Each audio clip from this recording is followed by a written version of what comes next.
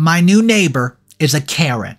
She's the most self centered, toxic old lady I've ever had to deal with, and the only thing I have on my mind is revenge. And I'm going to get it because she's interfering with my emotions. My stress levels are through the roof, and I can't work. I work from home as a musician, and she's making my life a nightmare. So here it comes my revenge. Hey guys, so I need your help and judgment on this situation. I'm a 29 year old female musician. I've been living in this house for about six years now. I record music in my home studio for a living, always during the day, never at night. This way, I thought I was being considerate to my neighbors. Last month, an old lady, I'm going to refer to her as Karen because it seems pretty fitting, moved into the next door house. I was initially excited about having somebody new in the neighborhood and was looking forward to getting to know her. I even baked up my fresh cookies, went over to say hello, and that's when everything went south.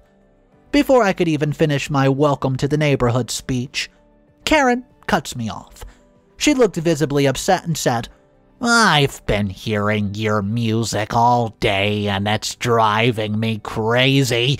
You need to stop playing so loudly. Well, I was taken aback and quickly explained that I'm a professional musician. Recording during the day is just my job. And that I've always made sure not to record at night so as not to disturb anyone and to not break any city ordinances.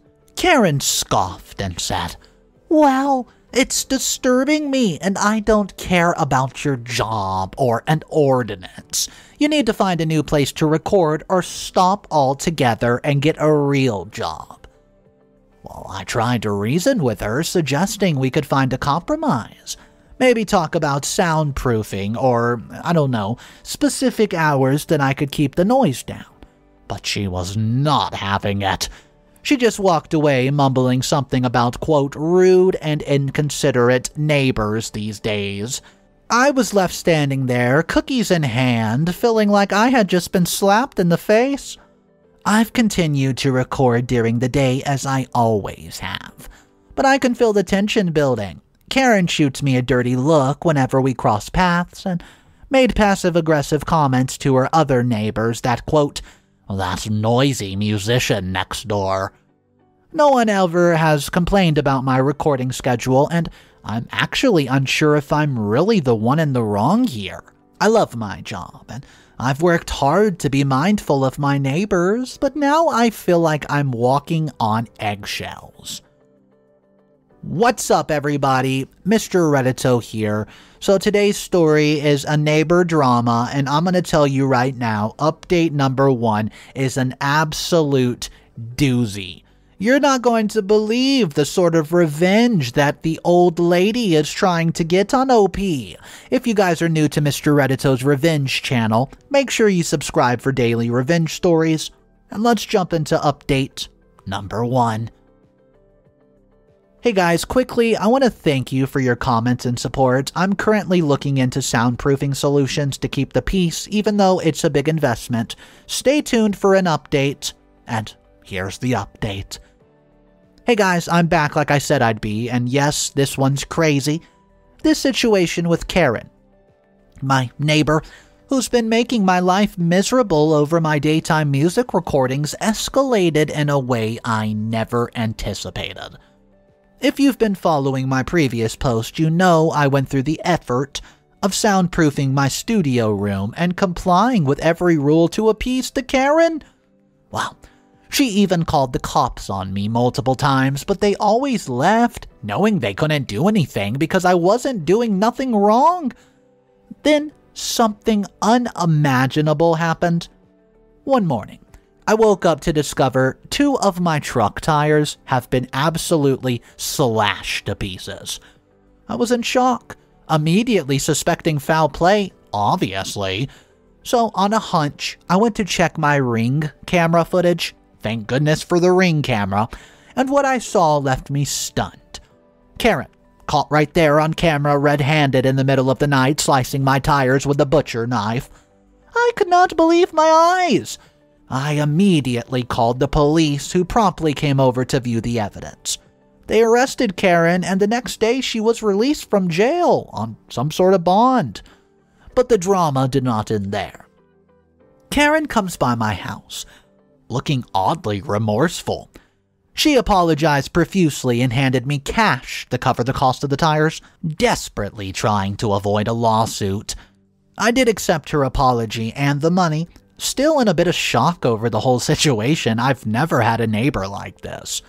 But as she was leaving, Karen turned to me with a cold look in her eyes and said, and I quote, If you turn down your recordings, I won't have to go crazy mode again.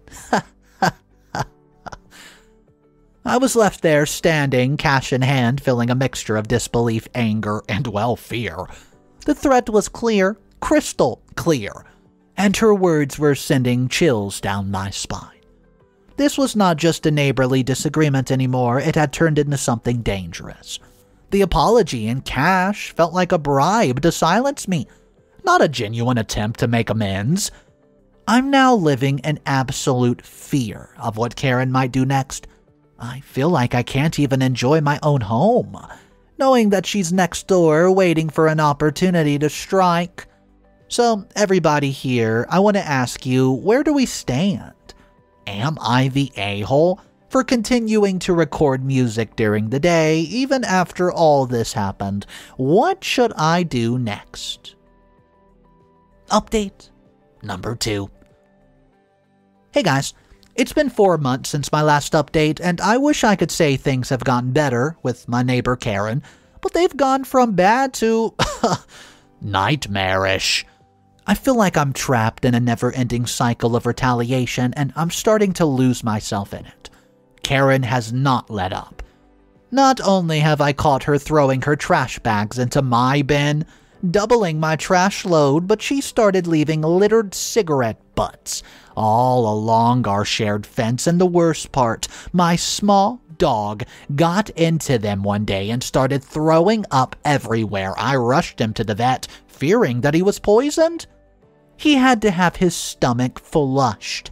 And thank goodness he was okay afterward, but the vet bill was ridiculous. And I was left seething with anger. I knew it was Karen's cigarette butts. She smokes right there in her backyard all day long, and the butts were only along the side of the fence that we share. It felt like it was calculated, spiteful, and absolutely horrible. That night, I don't know, something in me it just snapped. In a moment of blind anger and desperation, I, well, decided to seek a bit of revenge. I grabbed rubbing alcohol and a lighter and set fire to Karen's mini shed in the backyard where she stored all her planting materials.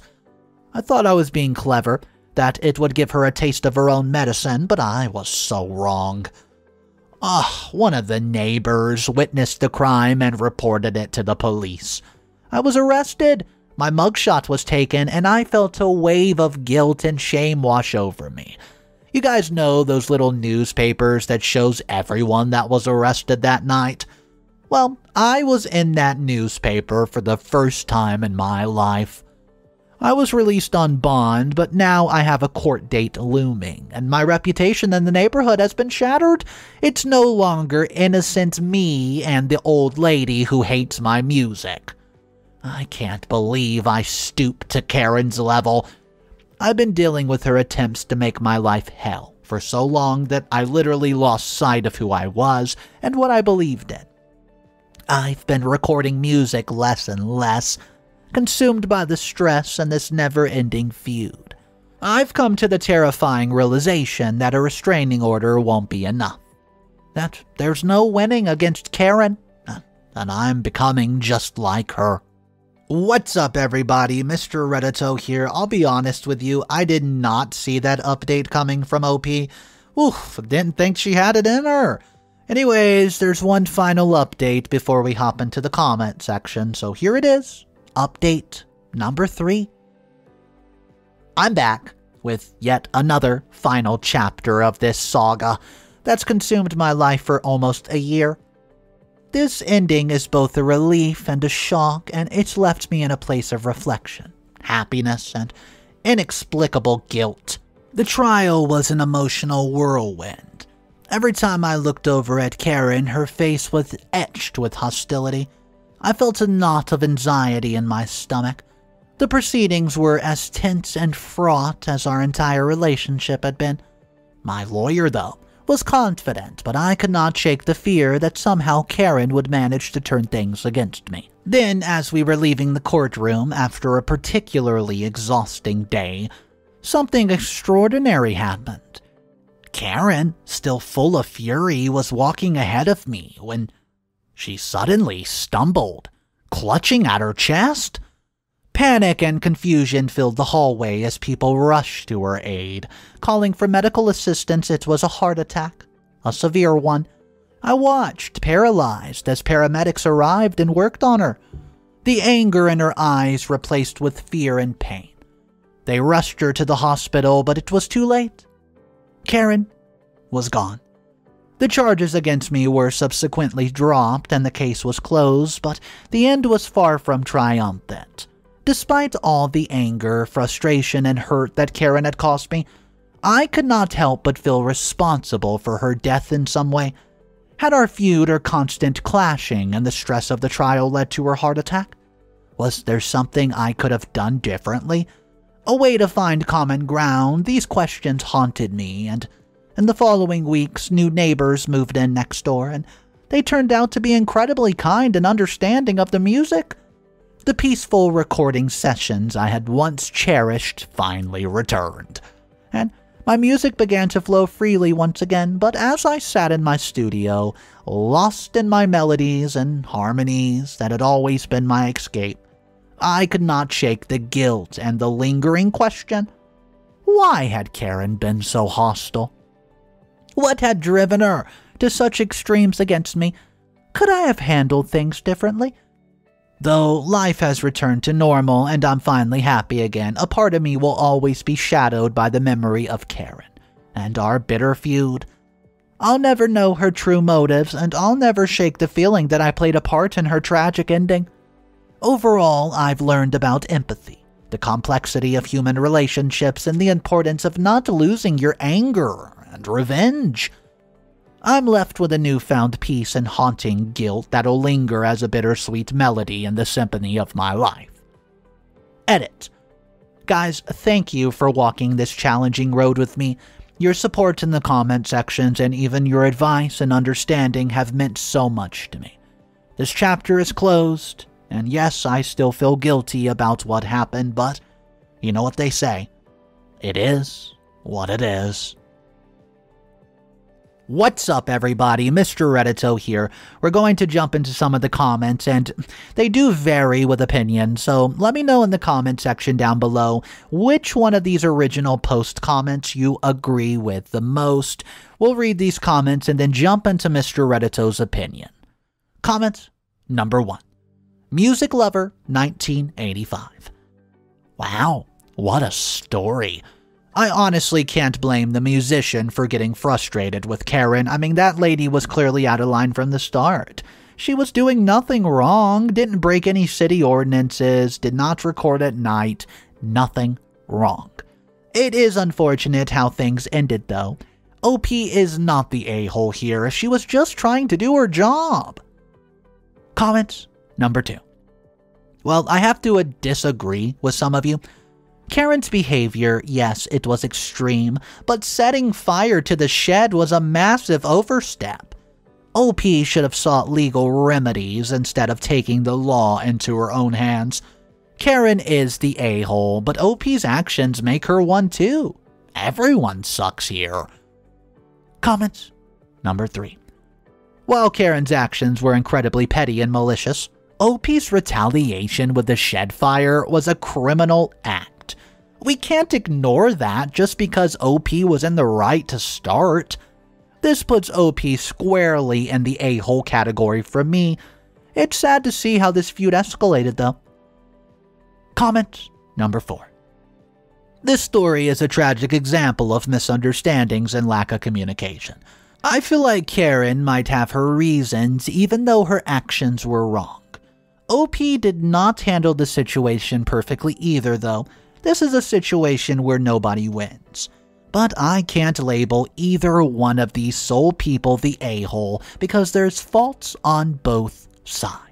So it's very rare that I agree with an everyone sucks here, because a lot of the times it's not possible that everyone can suck. But this story, I agree. I agree with comment number two.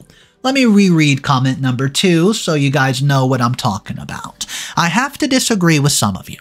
Karen's behavior was extreme, yes, but setting fire to the shed was a massive overstep. OP should have sought legal remedies instead of taking the law into her own hands. Yeah, Karen is the a hole, obviously, but OP's actions make her one too. Everyone sucks here, and guys, I have to agree. OP lost her cool, went over to the neighbor's house, and literally set a shed on fire. I mean, you don't know if an animal could have been in there, maybe even a person that was stuck inside of it. She should have gone the legal route and yeah, she might have been just lost her cool when she realized that the neighbor basically poisoned her dog. But still, setting fire to someone's shed is not the answer. So, in my opinion, comment number two is the best way. Everyone sucks here, but if you don't agree with me, let me know which of the four comments you agree with the most. Drop it in our comment section. I'll discuss with you guys down below. Make sure you subscribe to the new channel, Mr. Reddito's Revenge. Have an amazing day. I'll see you tomorrow because we got some revenge stories to cover. But remember, it's cool to be kind. See ya.